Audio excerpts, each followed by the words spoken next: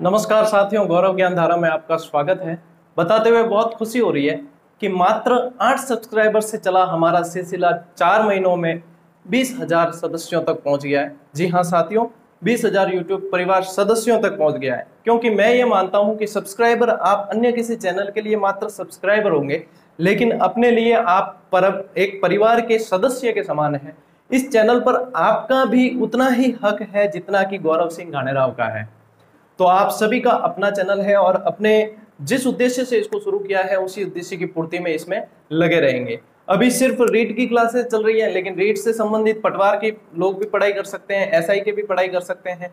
फिर धीरे धीरे जब अभी तो क्या है, मेरे भी थोड़े एग्ज़ाम चल रहे हैं तो उस वजह से मैं रेगुलर क्लासेस नहीं डाल पा रहा हूँ। फिर पटवार की, अपने सेकंड ग्रेड के फ़र्स्ट पेपर की फ़र्स्ट ग्रेड के फ़र्स्ट पेपर की, जो मेरे फ़ील्ड में आएँगे और जिनसे मैं और भी फैकल्टी से संपर्क करके जितनी क्लासेस अवेलेबल करवा सकूँगा, निस्वार्थ रूप से, निःशुल्क रूप से चैनल पर ही अवेलेबल करवा दी जाएगी। तो इस इस पर यूट्यूब परिवार के सदस्य बनने के लिए और इस नाचीज पर इतना विश्वास जताने के लिए आप सभी का बहुत बहुत आभार साथियों।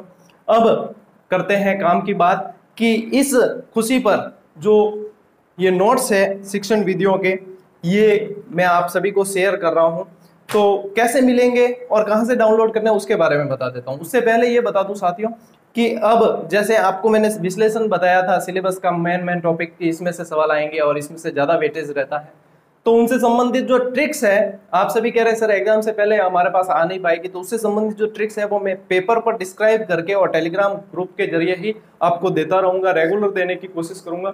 और जो क्लासेस इंपॉर्टेंट होगी, वे यहाँ पे अपन क्लासेस भी लेकर आएँगे और उसको समझा भी दूँगा मैं। मैं कोशिश करूँगा, जितने जितने हार्ड टॉपिक जो भी है, जो आपको समस्या आपके लिए पैदा करते हैं, वो सारे के सारे आपको बताने की कोशिश करूँगा। साथ ही फ़र्स्ट लेवल के जो आपके कमेंट्स आ रहे थे कि, सर ईवीएस e के लिए बताइए फ़र्स्ट लेवल में.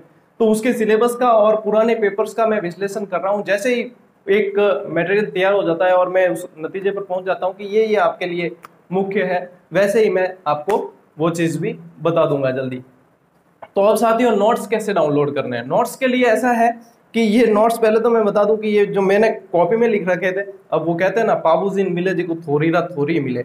ऐसे मित्र सारे मेरे हैं, जिनको मैंने कई नोट्स दिए हैं, कई बुक्स दिए हैं, लेकिन अभी तो पता ही नहीं है, मुझे खुद नहीं पता कि कौन सी किसके पास है, और मित्र बताते नहीं है कि कौन सी किसके पास है तो वो मेरे पास आ नहीं पाती।